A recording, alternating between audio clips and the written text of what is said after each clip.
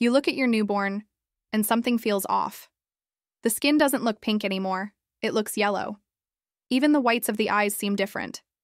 This is jaundice, a very common condition in newborn babies that usually appears in the first few days after birth. It happens when a baby has high levels of bilirubin in the blood, a substance made when red blood cells break down.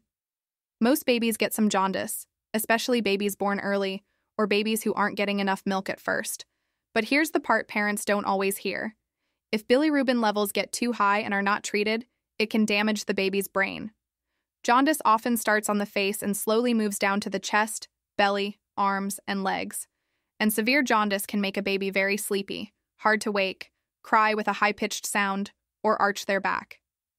Doctors check babies for jaundice in the hospital and again after discharge, and testing can be done with a simple skin reading or blood test. Most of the time, feeding well is the key.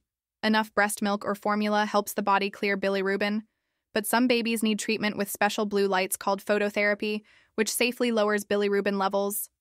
Jaundice may look scary, but when caught early and treated correctly, it usually goes away which is why noticing the color, watching your baby closely, and calling your doctor if jaundice worsens can make all the difference in protecting your baby's future.